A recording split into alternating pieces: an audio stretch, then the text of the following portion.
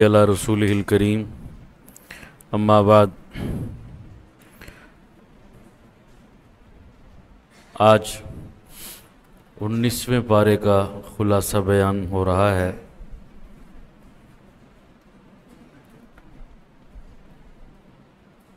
अहल बातिल कुफ़ार और मुशरकिन का ये वतीरा रहा है कि वो अहमकाना किस्म के एतराज़ात करके अपनी शिकस्त को छुपाने की कोशिश करते थे। कुरान मजीद से मुतक़ उनका ये नज़रिया था। नंबर एक, कि कुरान गुज्त कौमों की किस्से और कहानियों की किताब है बस। नंबर दो बाज़ का ये नज़रिया था कि अल्लाह के नबी सल्लल्लाहु अलैहि वसल्लम बहुत अक्लमंद और जहीन हैं, महज अपनी अक़ल के बलबोते पर और सबका आसमानी किताबों के मानने वालों से रहनुमाई लेकर कुछ बातें लोगों को बता देते हैं और कहते हैं, ये अल्लाह की तरफ़ से हैं। हालाँकि वो अल्लाह की तरफ़ से नहीं होती वो महज उनकी जहानत का और दूसरे लोगों की मुआवनत का नतीजा होती हैं। और तीसरा तबका ये कहता था कि ये तो एक जादू है, एक सहर है और नौजुबिल्ला नबी जादूगर हैं और जो इनके पास उठता बैठता है, इनकी जादू की भी बातों को सुनता है तो वो इनके शिकंजे में फंस जाता है। इस किस्म के सोच और नज़रियात वो फैलाकर अपनी शिकस्त को छुपाते और लोगों को गुमराह करने की कोशिश करते थे। फिर सिर्फ़ उन्होंने कुरान मजीद पर इस किस्म के लव एतराज़ात नहीं किए, बल्कि उन्होंने अल्लाह के नबी सल्लल्लाहु अलैहि वसल्लम की ज़ात पर भी एतराज़ात किए। अब मसलन उनका ये कहना कि जी, नबी और रसूल जो होता है, वो बशर नहीं होता, वो इंसान नहीं होता, वो तो कोई फ़रिश्ता होना चाहिए। और अगर बिलफ़र्ज़ अल्लाह ने इंसानों में से किसी को नबूवत देनी भी थी तो हम जैसे चौधरीों को देता, मालदारों को देता, पैसे वालों को नबी बनाता। एक गरीब बंदे को नबूवत दे दी और उसे कोई नबी बनाने के लिए नहीं मिला। ये जिस शख्स ने नबूवत का दावा किया, ये तो इंतहाई गरीब घराने से ताल्लुक़ रखते हैं। तो अगर अल्लाह ने इंसानों में से नबी बनाना ही होता किसी को तो किसी स्टेटस वाले बंदे को नबी बनाता। एक गरीब बंदा नबूवत का दावा कर बैठा नवजुबिल्ला ये एतराज़ात वो नबी की ज़ात पर करते थे। तो इन तमाम बातों के अल्लाह ताला ने मरहला वार मुख्तलिफ़ मकाम पर जवाब दिए हैं। आगे अल्लाह जल्ल शाह फरमाते हैं कि इंसान की आमाल की कबूलियत का मैार इंसान का साहिब ईमान होना है। और उसके अकीदे का सही होना है। अकीदा सही होगा, साहिब ईमान होगा तो छोटे से छोटे अमल की भी कीमत लगेगी। अकीदा ठीक नहीं, जितना मर्ज़ी अच्छे आमाल करे, वो रद्दी की टोकरी में है, उनकी कोई वैल्यू, कोई हैसियत नहीं। हातम ताई, कितना सखी इंसान था, गरीब परवर था, बंदा नवाज़ था, आज तक उसकी सखावत ज़रबुल मिसल है इतनी हमदर्दी और इतनी नेकी के बावजूद भी जहन्नम का ईंधन बना क्यों? मुसलमान न था। उसके, उसका बेटा अदीब ने हातिम सहाबी रसूल बना, जन्नत का हकदार बना। कुफर की वजह से हातिम ताई की कोई नेकी उसके काम ना आ सकी। इसी तरह आजकल भी कई लोग मिसालें देते हैं, यूरोप की कई औरतों की। कोई कहता है जी, मादाम तसाओ, कोई कहता है जी, मदर ट्रीसा, ये बहुत रहम दिल किस्म की औरतें थीं। इन्होंने बहुत ज़्यादा फलाह इंसानियत के और रिफ़ा आमा के काम किए हैं। लिहाजा ये तो जन्नती हैं। अभी माजी करीब में चंद साल पहले पाकिस्तान में एक गैर मुस्लिम औरत थी, अंग्रेज़, रुतफ़ा उसका नाम था। उसने कोड़ के मरीज़ों के लिए बड़ा काम किया। वो पहली मरतबा पाकिस्तान में आई और यहाँ कोड़ के मरीज़ों को उसने देखा और कोई इलाज और कोई अस्पताल न था। वो डॉक्टर थी, उस वक़्त जवान थी। उसने पाकिस्तान के लिए अपने आप को वक्फ़ कर दिया, यहाँ अस्पताल बनाए। वो वाहिद औरत थी जिसने कोड़ के मर्ज का इलाज किया पाकिस्तान में। हज़ारों लाखों मरीज़ शिफायाब हुए और वो बूढ़ी हो गई, पाकिस्तान में ही मरी। उसकी मौत आई। उसकी मौत के बाद सोशल मीडिया पर एक बहस छिड़ गई, ये जो रुतफाव थी, ये तो पक्की जनती है। इसकी जनती होने में कोई शक नहीं है। ज़ाहिरन देखा जाए तो बहुत बड़ी नेकी है कि उसने पूरी ज़िंदगी अपनी जॉब को छोड़ा और यूरोप जैसे एक तरक्की याफ्ता माशरे को छोड़कर एक गरीब मुल्क में डेरे लगाए उसने और इतनी बड़ी खिदमत की। लेकिन तमाम तर खिदमत के बावजूद भी ठिकाना जहन्नम में नेकी कबूल नहीं है। क्यों? ईमान के बगैर नेकी ऐसे ही है जैसे आप एक के बगैर ज़ीरो लगाने शुरू कर दें। अदद न लिखें और ज़ीरो लगाने शुरू कर दें। तो जितने मर्ज़ी ज़ीरो लगाते जाएँ, वो क्या रहेंगे? ज़ीरो रहेंगे। उनकी वैल्यू एक अदद लिखेंगे ना तो फिर एक लिखकर सिफर लगाया तो दस बना, दो लगाया तो सौ बना, तीन लगाया तो हज़ार बना। एक लगाना ज़रूरी है। इसी तरह ईमान का अदद होगा तो अमल की वैल्यू और कीमत लगेगी। ईमान नहीं है तो अमल जितना मर्ज़ी कर ले, वो सिफर बटा सिफर है। इसकी बहुत सारी मिसालें दी जा सकती हैं। आगे हजूर नबी पाक सल्लम अल्लाह की अदालत में अपनी उम्मत के लोगों का एक शिकवा बयान कर रहे हैं। क़यामत वाले दिन करेंगे। वकाल रसूल, या रबी इन कौमित तखजु हाजल क़ुरान महजूरा। रसूल अल्लाह की अदालत में कहेंगे, ए अल्लाह, ये वो लोग थे जिन्होंने मेरे कुरान को छोड़ दिया था। अब कुरान को छोड़ने का क्या मतलब है? इसके छोड़ने की कई सूरतें हैं। मसलन एक बंदा कुरान मजीद पर ईमान भी नहीं लाता और उसको सुनता भी नहीं। न सुनता है, न ईमान लाता है, ये भी छोड़ना है। एक बंदा सुनता तो है, पढ़ता भी है, लेकिन अमल नहीं करता। ये भी कुरान मजीद को क्या है? छोड़ने के मुतरदफ है। इसी तरह एक बंदा सुनता भी है, पढ़ता भी है, लेकिन ज़िंदगी के मामलात में कुरान मजीद को जज नहीं मानता। यानी फैसला कुरान के मुताबिक नहीं करता ज़िंदगी के मामला में। फैसला किसी और से करवाता है। तो ये भी कुरान मजीद को छोड़ने के मुतरदफ है। इसी तरह एक बंदा पढ़ता है, तिलावत करता है, लेकिन इस कुरान मजीद की आयात पर गौर और फ़िक्र नहीं करता। बस तोते की तरह पढ़ देता है। पता नहीं, सारी ज़िंदगी गुजर गई, ये कभी जहमत नहीं की समझने की कि अल्लाह हमसे क्या कह रहा है। ये जो हम खुलासा बयान कर रहे हैं, ये क्यों कर रहे हैं? ताकि पता चले अल्लाह हमसे क्या कह रहा है। रात को हमने तरावी में सुना, कुरान मजीद। अब हमें पता चले मोटा मोटा तो पता चले कि क्या कह रहा है अल्लाह हमसे। ये तो सिर्फ़ इशारे करता हूँ मैं, ये जो इस मौके पर दर्स होता है, इसमें तफसील का वक्त नहीं। लेकिन किसी बंदे ने जहमत भी नहीं की सारी ज़िंदगी कुरान मजीद को समझने की कि अल्लाह हमसे क्या कहता है। ये भी कुरान मजीद को क्या है? छोड़ना है। दो सूरतें और हैं, बड़ी काबिल गौर हैं कुरान मजीद को छोड़ने वाली। हर बंदा चेक करे कि मैंने कुरान मजीद को पकड़ा हुआ है या छोड़ा हुआ है। हर बंदा चेक कर सकता है। नंबर एक।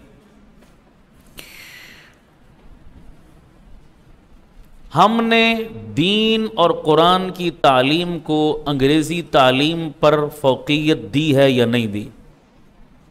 अगर हमने अपने लिए और अपने बच्चों के लिए अंग्रेज़ी तालीम को अहम समझा और कुरान मजीद को पार्ट टाइम जॉब समझा, झूँगा समझा तो इसका मतलब भी ये है कि हमने कुरान मजीद को क्या कर रखा है? छोड़ रखा आज देख लें माशरे में सब वालदेन की नब्बे, पचानवे, अट्ठानवे फ़ीसद तोानाई किस पर लगती है? इंग्लिश मीडियम स्कूल कॉलेज गरीब से गरीब बाप भी आला से आला स्कूल में अपने बच्चे को तालीम दिलवाएगा। वहाँ उसकी गुर्बत, रुकावट नहीं बनती।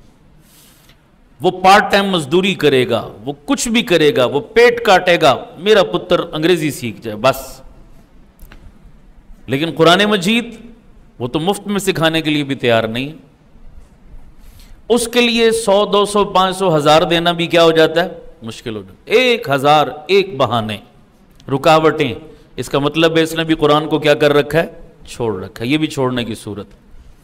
एक छोड़ने की सूरत और भी है। वो ये है कि अगर एक डॉक्टर कह दे कि ये खाना है आपने और ये नहीं खाना, ये चीज़ खाएँगे तो आपको नुकसान होगा, आपकी बीमारी बढ़ जाएगी और ये खाएँगे तो आपको फ़ायदा होगा।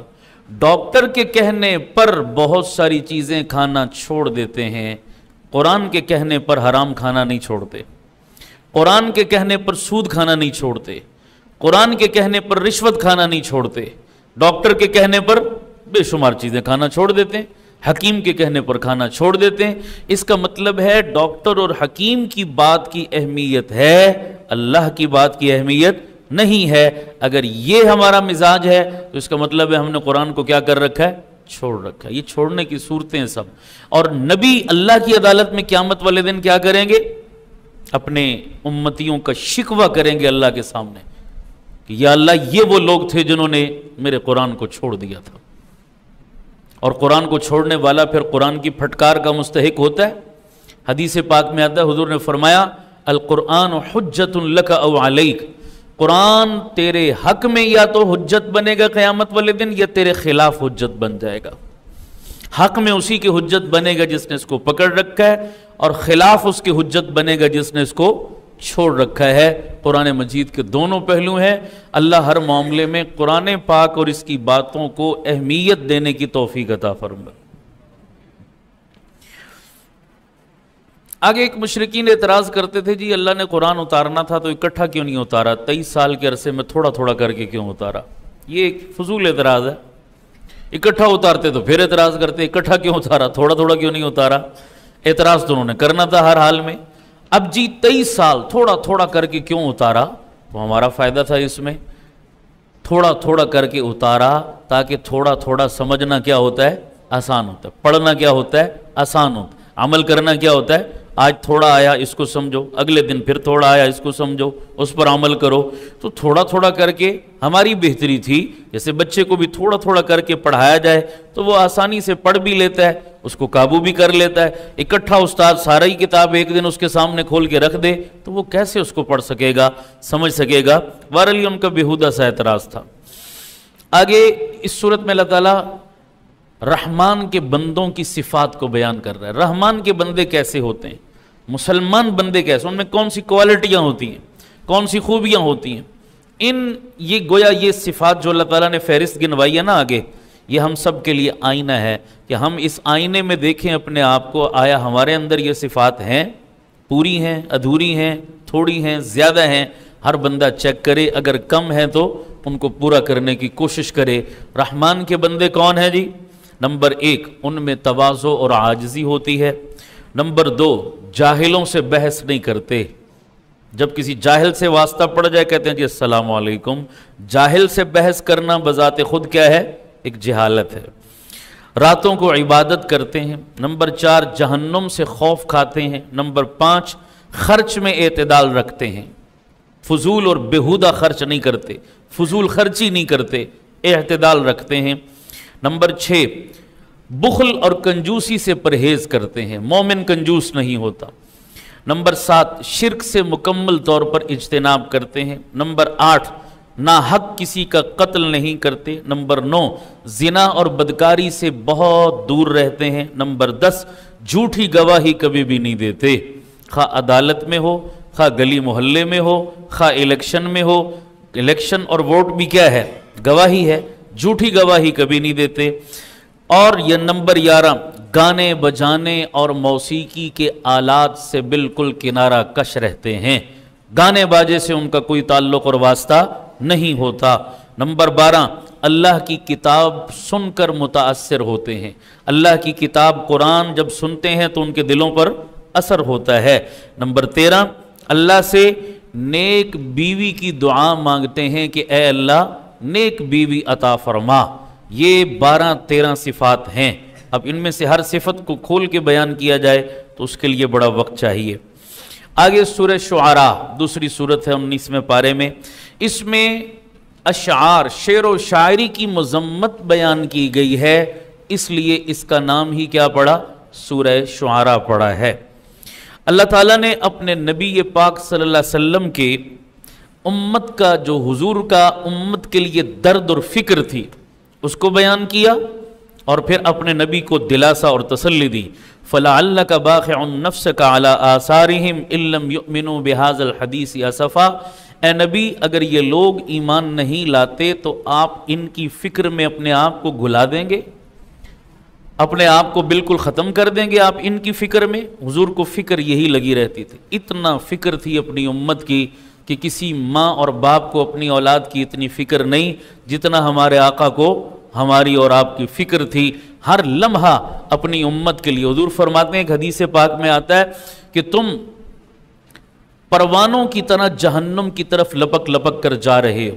दौड़ दौड़ कर जा रहे हो। जैसे परवाना शमा की तरफ़ दौड़ के आता है, ऐसे लपक लपक कर तुम जहन्नुम की तरफ़ जा रहे हो और मैं तुम्हारी कमरों से पकड़ पकड़ कर तुम्हें जहन्नुम से बचा रहा हूँ। अम्मा आयशा फरमाती हैं, रसूल पाक के सीने से ऐसे आवाज़ आती जैसे हंडिया को चूल्हे पर रखो तो खोलने की आवाज़ आती है। कोई चीज़ उबलती है तो आवाज़ आती है। हजूर के सीने से ये आवाज़ आती थी। ये क्या था? ये उम्मत का दर्द था। उम्मत की फ़िक्र थी। वो फ़िक्र आप सल्लल्लाहु अलैहि वसल्लम को बेचैन और बेताब रखती कि अल्लाह को तसल्ली देनी पड़ रही है कि आया नबी, आप अपने आप को इनकी खातिर घुला देंगे। इनकी खातिर आप अपने आप को बिल्कुल ख़त्म कर देंगे। अगर ये ईमान नहीं लाते तो अल्लाह ताला तसल्ली दे रहे हैं अपने नबी को। इसी तरह इस सूरत के अंदर बाज़ अम्बिया का तस्करा अल्लाह ताला ने फरमाया। इनमें मूसा सलाम का किस्सा भी फिर यहाँ इस सूरत के अंदर मजकूर है कि मूसा सलाम और फ़िरौन के दरमियान कुछ बहस मुबासा हुआ। जब फ़िरौन को मूसा सलाम ने अल्लाह ताला की वहदानियत और तोहद का पैगाम पहुँचाया और तारफ़ कराया तो फ़िरौन भी बहस मुबासे पर उतर आया और उस बहस मुबासे में फ़िरौन कहने लगा हज़रत मूसा सलाम से कि मेरा एहसान है आप पर कि मैंने आपको अपने घर में पाला है, तरबियत की है आपकी आपकी परवरिश की है, मेरा एहसान है आप पर। मूसम फरमाने लगे, तेरे एहसान का मैं क्या करूँ कि उधर तूने मेरी परवरिश की, उधर से तूने मेरी पूरी कौम को अपना ग़ुलाम बना लिया और यरगमाल बना लिया तो मुझे तो ये सौदा गवारा नहीं है बिल्कुल। फिर मूसम फ़िरौन ने मूसम को, वो कत्ल का वाक़ आपको पता है आपने मेरी कौम के एक बंदे को कत्ल कर दिया था, मुक्का मार के? तो मूसम ने फरमाया था, वो कत्ल आमद नहीं था, वो कत्ल ख़ता था। जानबूझकर मैंने नहीं मारा था। खतान बस उसको पड़ी। अब नबी का मुक्का था ना, वो कौन बर्दाश्त करे फिर? मेरा इरादा नहीं था, लेकिन मेरे मुक्के की वो ताब न लाया। मर गया, कत्ल खता था, कत्ल आमद नहीं था। फिर इसी तरह फ़िरौन बड़े इस्तेजा और तकबर में कहने लगा, ये तुम बार बार रब्बुल आलमीन, ये रब्बुल आलमीन क्या होता है? तो मूसा ने उसको तारुफ कराया कि रब वो है जो आसमानों, ज़मीनों का पैदा करने वाला और खालिक और मालिक और सारी कायनात की ज़रूरतों को पूरा करने वाला। ये बात सुनकर वो मुँह से बकवासात और ओल फोल बकने लगा मूसा सलाम के सामने और फिर धमकियों पर उतर आया मूसा सलाम के ख़िलाफ़। जब धमकियों पर उतरा तो मूसा सलाम को अल्लाह ने मुआवजा दिया था, वो बगल में उन्होंने हाथ डाल कर निकाला। तो वो चाँद से ज़्यादा और सूरज से ज़्यादा वो चमकदार हो गया हाथ, चमकना शुरू हो गया। फिर जब ये देखा तो वो परेशान हो गया। अब जब उसको और कुछ हाथ ना आया तो अपने बंदों को कवर करने के लिए कहने लगा कि अरे लोगो, इसकी बातों में ना आना, ये तो जादूगर है। मूसम के बारे में कहने लगा, ये तो जादूगर है। फिर ईद का दिन था उनका जो, उस ईद के दिन में मजमा इकट्ठा कर लिया। अपने जादूगर, अपनी टीम भी बुला ली कि मैं इसका मुकाबला करवाऊँगा। वो जादूगर बुलाए और उन्होंने फिर जो है वो अपनी अपनी रस्सियाँ फेंकी वो रस्सियाँ जनाब सांप बनी मूसम ने लाठी डाली, वो लाठी अजदहा बनी, सारे अजदहा निगल गई और फिर उसके वो जादूगर भी मूसम पर ईमान ले आए, उनका कलमा पढ़ लिया, वो जिच हो गया फिर बेबस हो गया जब।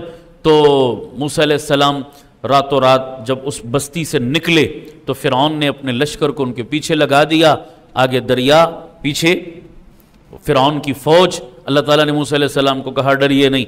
आप बढ़िए आगे बढ़े, दरिया में अल्लाह ताला ने रस्ते बना दिए, वो आर पार हो गए। वो बड़े अजीब व गरीब तरीके से रस्ते बने थे, अब उसकी तफसील का वक्त नहीं। दरिया पार किया, पीछे जब फिर पहुँचा तो उसी दरिया के अंदर अपने लश्कर समेत गर्क हुआ और आज तक अल्लाह ताला ने उसके बदन को भी निशान इबरत बनाया है। अल्लाह ताला ने कुरान में कहा था, फल यौमन नज्जी का भी बदनी कली तकून अलीमन खलफ़ का आया। हम तेरे जिसम और बदन को भी क़यामत वाले दिन तक निशान इबरत बनाएँगे।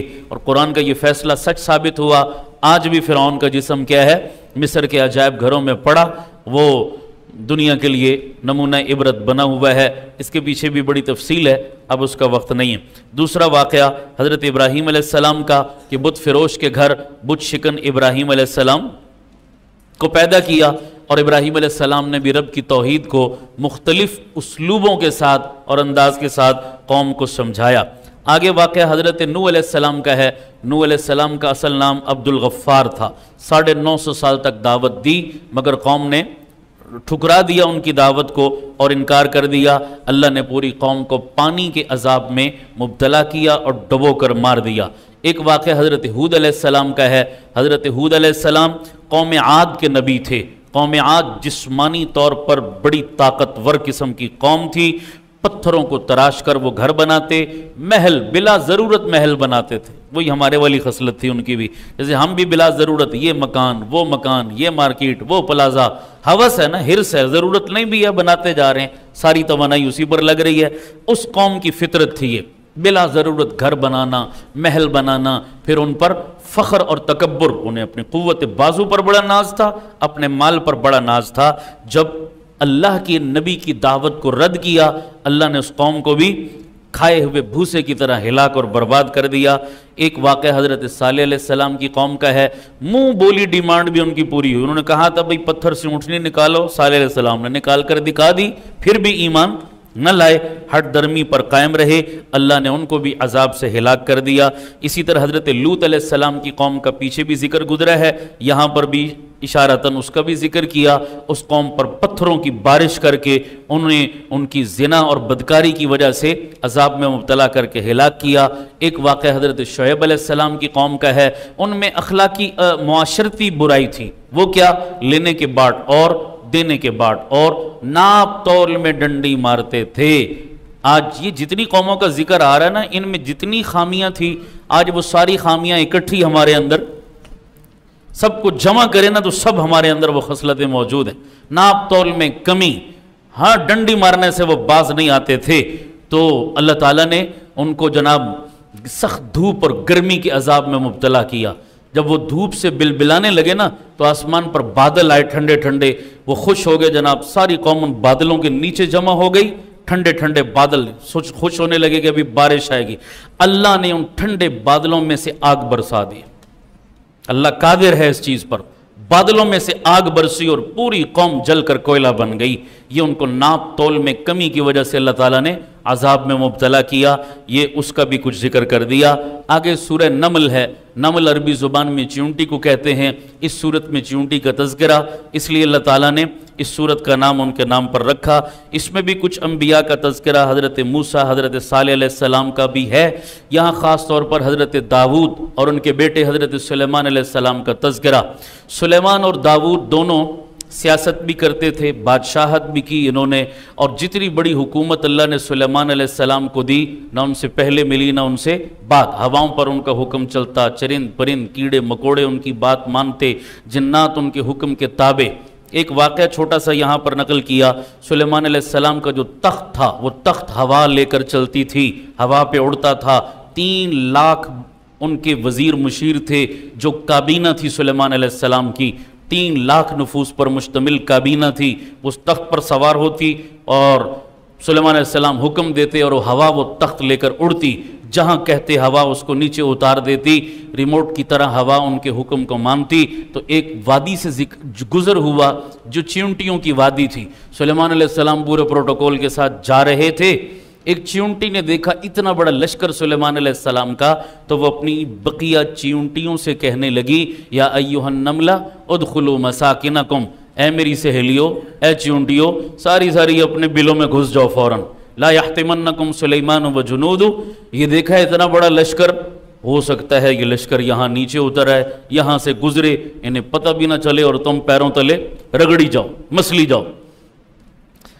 एक चिंटी ने बकिया चिंटियों की खैर खाही करके उन्हें मशवरा दिया कि जान बचाओ और चिंटियों में, बिलों में चली जाओ। खैर खाही थी ना ये? अल्लाह को खैर खाही इतनी पसंद आई कि अल्लाह ने उस चिंटी का तस्करा कुरान के सफ़ों पे कर दिया।